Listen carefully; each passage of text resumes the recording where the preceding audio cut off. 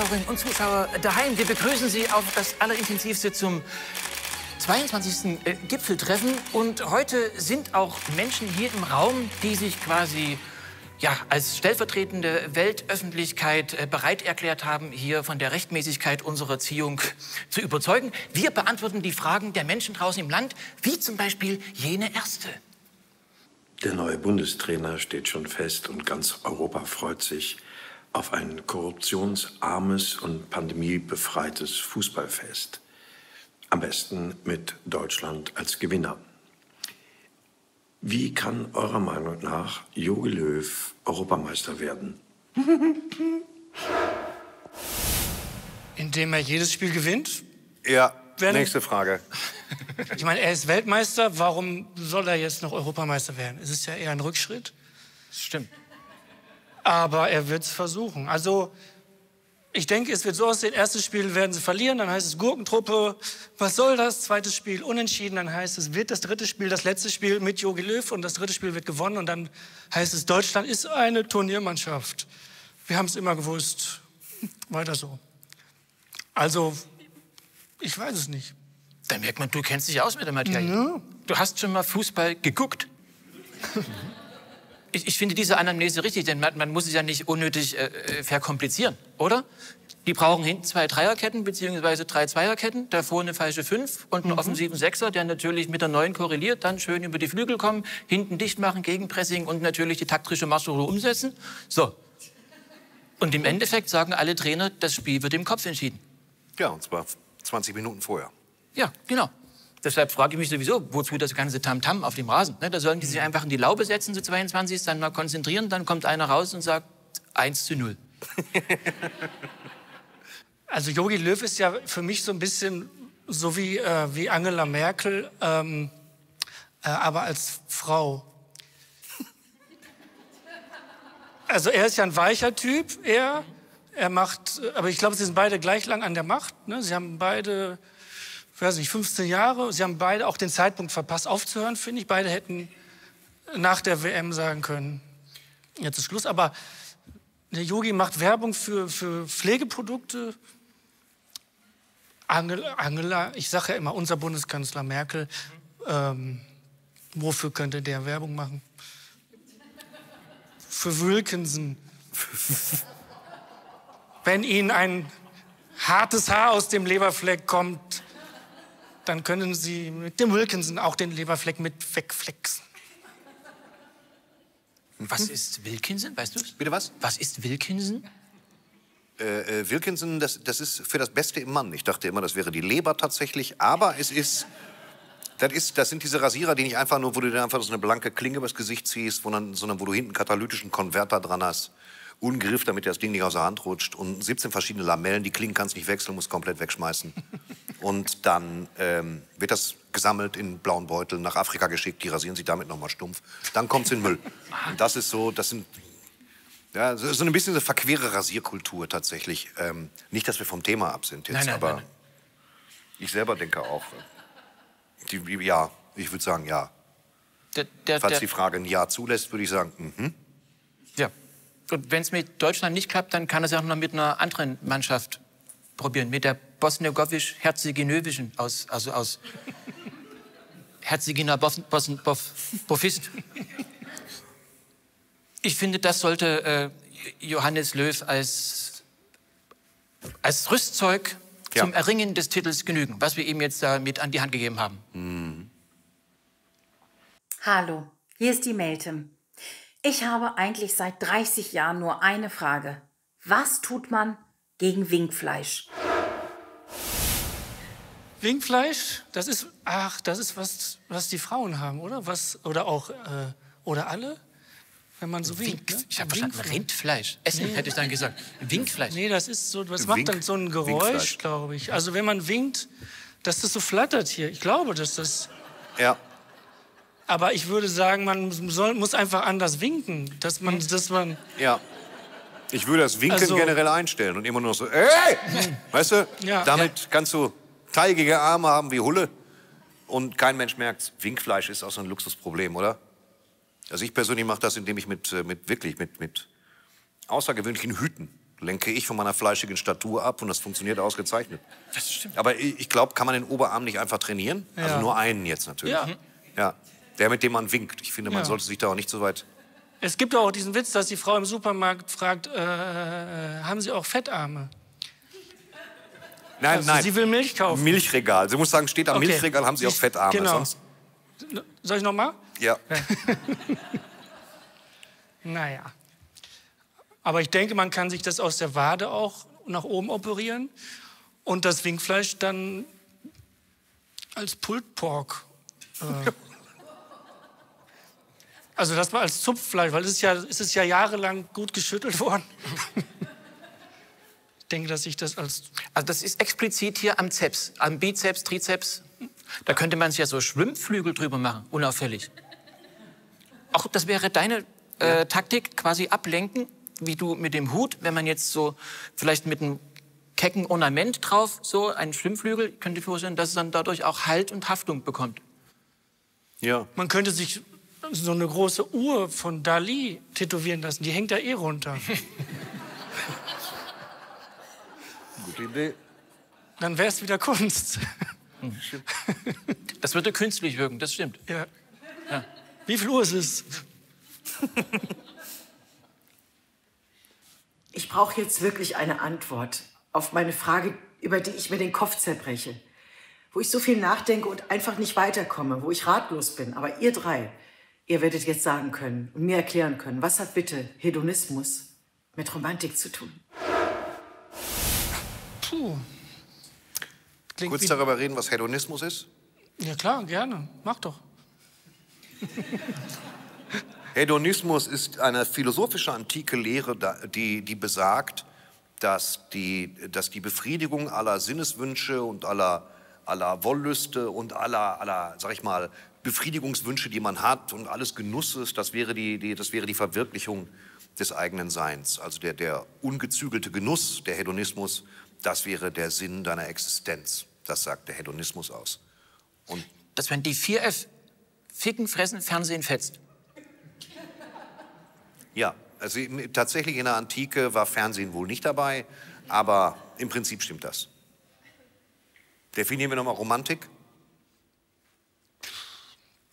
Tja. Also wenn ich jetzt, ich war ja früher oft weg abends und wenn ich dann aus der Disco kam mit einem Mädchen, dann, dann hatte ich oft große Lust äh, äh, auf einen Döner, sag ich mal. Und dann bin ich mit ihr zum Dönermann gegangen und habe da reingebissen, habe meinen Kopf in den Döner gefressen. Und das hatte viel mit, mit, äh, mit Hedonismus zu tun, mit Lust, aber nicht mit Romantik. Die kam dann später, wenn ich das Mädchen bei der Mutter abgegeben habe. oh Gott. Ich, ich, es hätte ja genügt, wenn du sie abbeißen lässt. Ja. Also, Nein, es glaube ich, es widerspricht sich durchaus. Also Hedonismus ist, glaube ich, das Lustprinzip auch eine Welt, frei- also ein Leben ohne Schmerz, wo ich mich aber auch frage, Schmerz kann ja auch Lust bereiten. Ne? Also Kerzenwachs. Ich sehe es. Ich sehe es den Leuten in den Gesichtern an. Und das ist, Also mein Vater hat mich früh mit Romantik in Verbindung gebracht. Äh, nee, Entschuldigung, mit, mit, mit Hedonismus. das verwechsel ich immer. Nein, mein Vater hat also viel, er hat oft, wenn er mich gesehen hat, auf der Straße gerufen, Hedonismus, Hedonismus.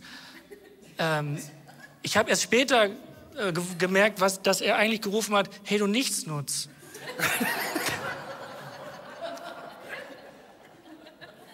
Nichtsnutz. Ja, witzig. ja, bitte. Hey, du nichts nutzt. Hey, du- Sehr gut. ja, ich weiß, Gut. aber ich fürchte aber, dass jetzt auch so ein bisschen der Schalk aus dir spricht. Hä? nee. Wenn du es tatsächlich so erlebt hast, dann Ja, deswegen. Es ist nicht schön, wenn man dann lacht. Ja? Das ist ein tief sitzender. Ja. Dass Mütter eines Tages sagen werden, äh, wenn dir ein Mann begegnet, der in den Döner beißt, äh, dann ist er böse meist.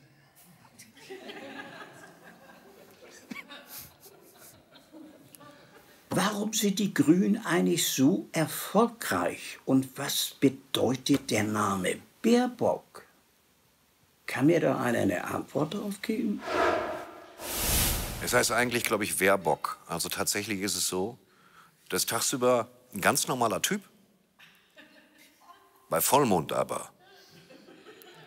Hm? Stell dir mal vor, das ist so, äh, dann kommt da unten so zack. Und dann stehst du mit so Hörnern plötzlich bei Karstadt und dann Hufe, Hufe, wo ist Klee? Und dann galoppierst du die Rolltreppe runter und stirbst. Es ist, warum die, ich meine, die Grünen ist doch vollkommen okay. Ein paar Ziele von denen sind zwar ein bisschen illusorisch, wie Tempo 30 auf der Autobahn und, und äh, aber andererseits, weiß nicht, wen willst du sonst wählen? Was mich an den Grünen stört, die, das sind so welche, die, die machen, äh, die wollen alles richtig machen. Und alles richtig machen zu wollen, finde ich, ist eigentlich der größte Fehler. Ja. Wir Den kennen nun auch die andere Seite, alles falsch machen, finde ich auch nicht so richtig erotisch. Naja, aber äh, hat, das hat schon Sophokles gesagt, oder äh, ich glaube, war es Sophokles oder Sophokles, einer von beiden. Nur aus Fehlern lernt man. Und ich habe das meiste, was ich äh, gelernt habe, habe ich aus Fehlern gelernt. Und äh, wenn man mir, wenn, es, wenn man es mir untersagt, mich äh, fehlerhaft zu betätigen, fühle ich mich äh, eingeschränkt. Nee, ich finde Grün generell gut. Ich bin ein großer Wiesenfreund und ich finde es generell auch okay, wenn Luft zum Wegatmen da ist. Äh, davon abgesehen ist das Programm ein klein bisschen abgehoben. Ich hätte auch gerne, äh, ich hätte gerne leere Innenstädte. Ich hätte gerne Innenstädte, in der mehr Fahrräder fahren. Weil ich das, wenn ich mit dem Auto durchkachel, nicht so merke. Du kommst ja kaum noch Und durch. natürlich aber Inlandsflüge verbieten zum Beispiel. Das machen die Grünen. Das macht so in dem Sinne keine andere Partei. Ich kann Und nicht mehr von das- Köln nach Dortmund fliegen. Nee, ich bin neulich geflogen von. Ich bin von Köln nach Düsseldorf geflogen und ich habe danach aber gemerkt, das nächste Mal nimmst du ein Taxi. Ne? Das geht viel schneller. Ja, aber, aber ver- verbieten ist das eine. Ich meine, äh, es geht auch um intelligente Lösungen, um inte- intelligente Alternativen. Und, Ja, Biokerosin. Biokerosin, richtig, natürlich sparen, sparen, sparen. Aber ich sag mal sowas wie zum Beispiel, äh, ja, die Alternative zum, zum, zum Kurzstreckenflug ist der Langstreckenflug. Mit Zwischenhalt. Ne? Also dann den, den Nahverkehr quasi globalisieren. Das wäre richtig toll. Wenn ich von Dortmund nach Stuttgart muss, über Paris, Dakar, Mumbai, Ja? zwei Übernachtungen in London für 4000 Euro und dann direkt nach Stuttgart. Ja. Eine Woche unterwegs. Das stimmt. Und da kommen welche. Man lernt Menschen kennen, das ist wie so ein Hostel on Air. Ja, so. eines der wenigen Hostels, wo eine Cola 9 Euro kostet, freue ich mich drauf. Aber ich habe es ja schon mal gesagt, ich bin ein großer Freund der Fluglinien, weil ich nicht weiß, wie die es schaffen, äh, bei in 10.000 Meter Höhe ein Bier warm zu halten. Das muss unfassbar schwierig sein. Das ist, ich freue mich schon wieder drauf, wenn ich mal wieder fliegen kann, weil ich da große Angst vor habe. Ja, leidest du unter Flugangst? Die anderen leiden unter meiner Flugangst. Weil ich selber habe mich gut im Griff. Ich schreie halt die ganze Zeit, wir werden alle sterben, wir werden alle sterben. Da fühlen sich viele beim Film gestört. Ja.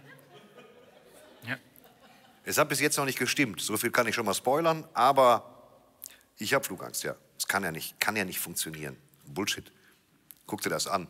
Fahr zum normalen Flughafen. Guck dir an, wie so ein monströser Eimer mit so kurzen Flügeln in so einem Winkel, und jetzt bitte nicht aus dem Zusammenhang gerissene Bilder von meiner Hand senden, in den Himmel Spleiß. blästert. Und noch in der Schräge gehen die ersten Kacken, die anderen kriegen Brötchen. Das kann nicht funktionieren. Irgendwer hat sich da verstiegen, als die Luftfahrt losging, irgendwann in den 60ern. Die kommerzielle hat gesagt, nee, das muss gehen. Und dann landet irgend so ein Fraggle. Dem ziehen wir ein Kurzarmhemd drauf, der kriegt eine Menge Orden und Pailletten wie Michael Jackson und dann landet der Teil wieder. Hauptsache verspiegelte Sonnenbrille. Das kann nicht gehen. Irgendwann wird ein Pilot sagen, das kann nicht gehen und dann stürzen die ab. Das ist so. Das ist, das ist eine Glaubensfrage. Du meinst, das ist wie bei des Kaisers äh, nackte Kleider oder wie das heißt? Des Äh, Kaisers nackte Kleider. Genau, wer kennt sie nicht? ja. Irgendwann steht einer Ja. auf und sagt, das Flugzeug kann gar nicht fliegen. Das, was der Schneider von Ulm ja schon... Äh, Genau. Nein, der, der Bischof des Schneiders war es ja. Der Schneider hat es ja probiert. Er hu- hub an zum... Er, er anhub zum Abhub und er verfiel. Und dann kam ja der, der Bischof und hat gesagt, es wird nie ein Mensch fliegen. Aber es kam anders. Du drehst das Rad der Geschichte zurück. Ja, das wäre noch was. Das wäre noch was. Vielleicht gibt es ja schon bald das Elektroflugzeug. Emissionsfrei, ohne, ohne Schadstoffe.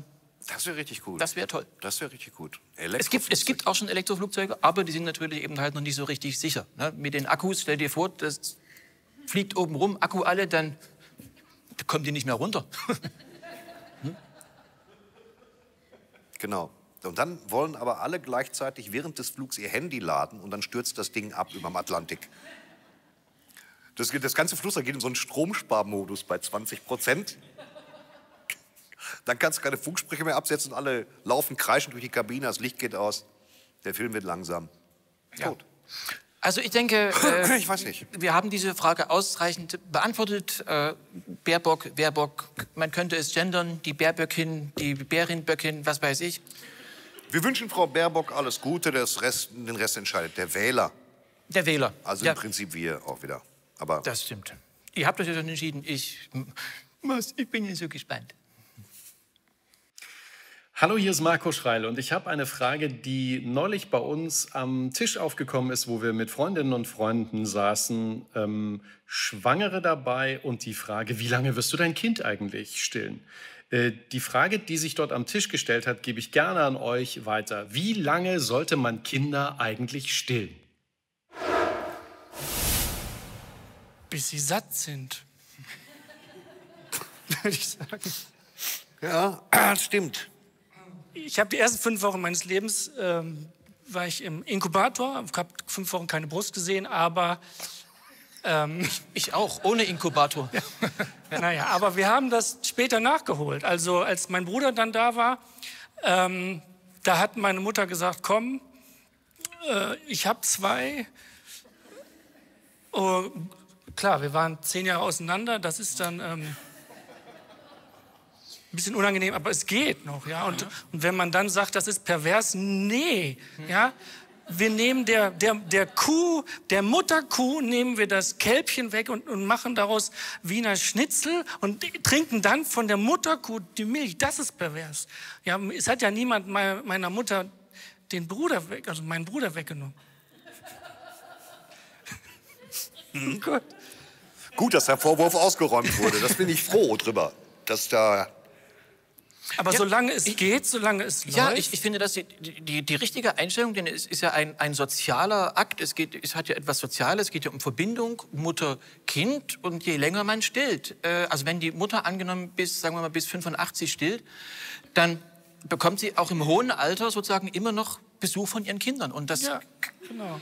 äh, da- davon träumen viele ältere Menschen. Na klar. Ich meine, bei uns war es so, meine Mutter stand oft am Schulhof in den Pausen und ist dann auch komisch, wenn dann die Frau den, Mant, den Mantel öffnet und ähm, aber, aber das geht. Und wenn das Kind dann in eine andere Stadt will, wo, darum kann man ja abpumpen. Ja, diese Abpumpmaschinen sind ja wunderbar. Mit einer Hand drückt man und hält man. Oft hat meine Frau oft gemacht. Morgens vor der ersten Zigarette hat sie gepumpt und ich stand daneben, habe gedacht, äh, geiles Geräusch. Wie Hm. beim Camping, wie, wie der Blaseberg.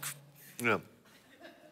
Das Stillen wird sich ja auch noch entwickeln. Also meine Mutter zum Beispiel war sehr progressiv. Die hat mich direkt äh, mit Trockenmilch gestillt. Mit trocken. Ja. Also sie hatte so ein anatomisches Update und da macht das wirklich so pff, pff. Da kam Pulver raus. Ja, Trockenmilchpulver, da haben damals alle gesagt, Mann, das ist ja toll. Und das hat sich ja mittlerweile durchgesetzt. Mittlerweile gibt es die Trockenmilch ja sogar im Einzelhandel schon. Ich warum heißt das eigentlich stillen? Weil es ist ja oft das Gegenteil. Wieso heißt das stillen? Weil es danach still ist. Oder was? Stillen? Meinst du wirklich, es heißt stillen? Das Kind schreit, Stillen wird gestillt und ist stillen? ruhig. Das ist eine sehr gewagte These, aber Ich würde sagen, ja, aber weil Johann es sagt, kann es nicht stimmen. Weiß nicht. Von daher ist es, wahrscheinlich ist es eine Frage, die wir als Männer gar nicht beantworten können. Da ist was dran. Ja, das müssen die unter sich ausmachen, die Betroffenen. ja. Es gibt Cafés mit Muttermilch-Cappuccino tatsächlich oder Muttermilch-Eis. Ja, mein Gott, ja, Grieche. Gänsehaut hoch 1000. Ach. Ja, Komm, mach Schluss jetzt. Ja. es gibt eine Konditorei für Nachgeburten. Immer weg vom Körper. Meine Güte. So, was will man sonst noch äh, von uns wissen heute? Relevantes.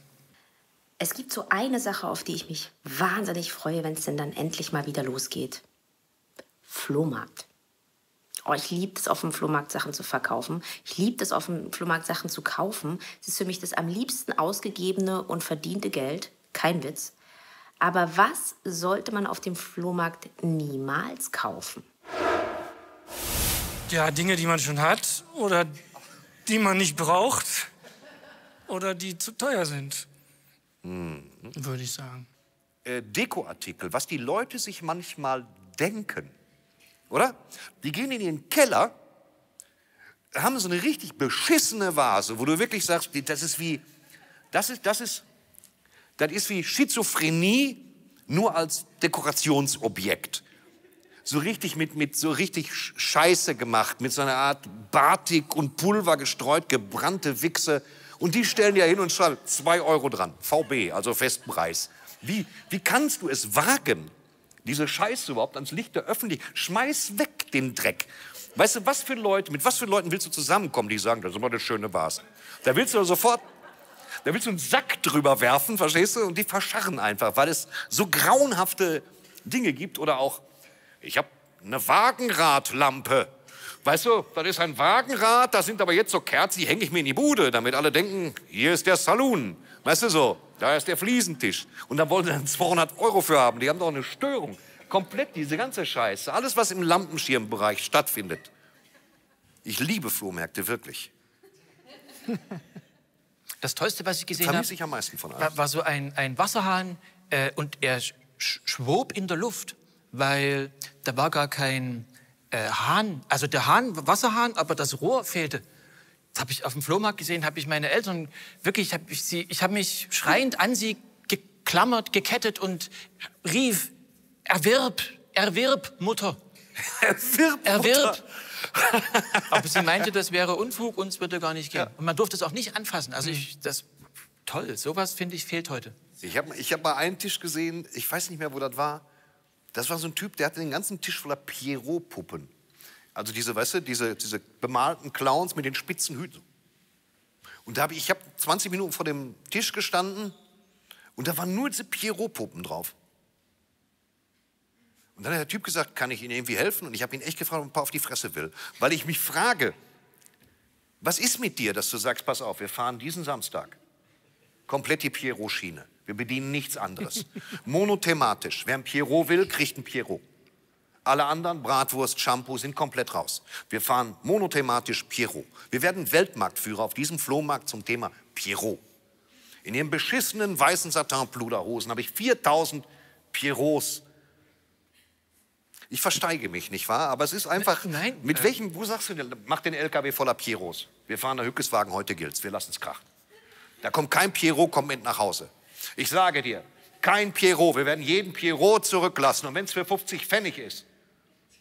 Ich kann nicht anders, als mich da reinzusteigern. Du musst dir überlegen. Du musst die auch angekauft haben, dass man sagt, hören Sie, führen Sie Pierrots? Ich bräuchte zwei Hektar Pi- Pierrots. Können Sie mir da, können Sie die liefern? Sonst ziehen Sie zusammen, bilden Sie Synergien. Samstag ist Flohmarkt. Ich brauche zwingend. ist gut, jetzt macht bitte weiter. Ja. Scheiß Dreck, echt, ey. Also, Das heißt, als Fazit, äh, ähm, ja, hast du schon was, was auf dem Flohmarkt gekauft? Ich habe einmal mit meiner Frau einen Stand gehabt und ähm, das war aber langweilig. Dann bin ich irgendwann rumgelaufen und habe bei den anderen geguckt und dann bin ich wieder zum Stand, zu unserem Stand und habe für viel Geld die Sachen gekauft. Der Vorteil ist, man hat am Ende viel in der Kasse und kann die Sachen noch selber behalten.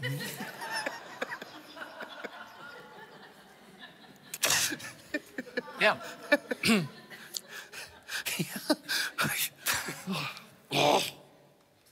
Ja. ja, fehlt Einfach so als Anregung. Momente. Ja, ich denke, es ist Zeit für die nächste Frage. Ich bin der See und meine Frage, also wenn ich Alkohol trinke, dann bin ich ja irgendwann voll. Und wenn ich mich dann übergeben muss, äh, bin ich dann leer oder voll oder voller oder am vollsten? Das ist, das ist mal die Frage. Glorifizieren wir gerade Alkoholmissbrauch? Bin ich wieder politisch zu korrekt? Ja, das ist, das ist ja umgangssprachlich so, dass man äh, gerne damit kokettiert, wie viel man doch äh, verträgt. Ja?